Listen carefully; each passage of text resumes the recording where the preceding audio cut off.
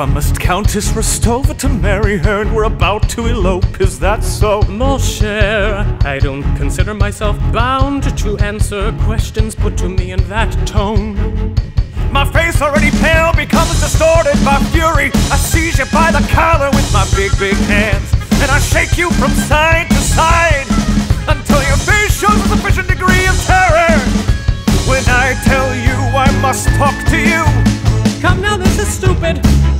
Don't, don't. you're a scoundrel and a blackguard, and I don't know what deprives me of the pleasure of smashing your head in with this. Did you promise to marry her?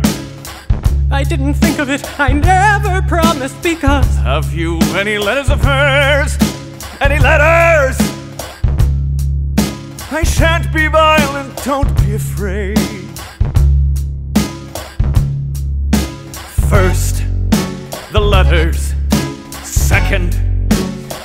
You must get out of Moscow. But how can I?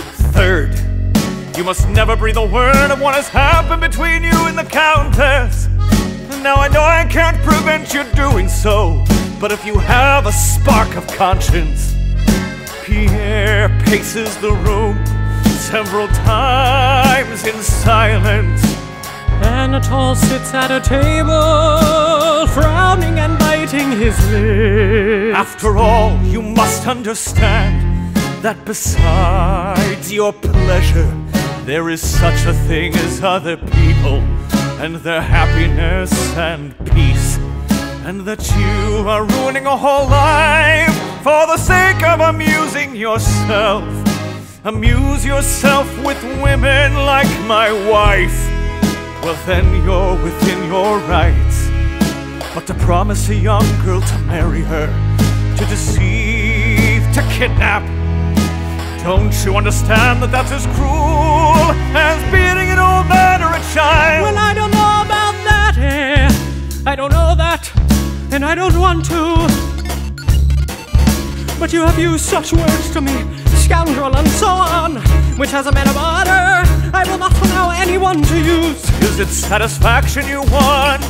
You could at least take back your words, eh? If you want me to do as you wish.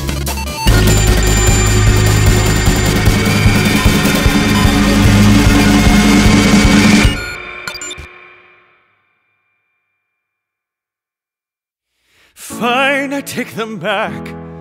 I take them back. And I ask you to forgive me.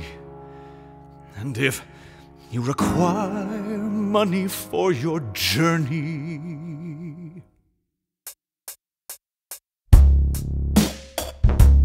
Anatole smiled, the reflection of that base and cringing smile, which Pierre knew so well in his wife, revolted him. oh vile and heartless brood. Next day, Anatole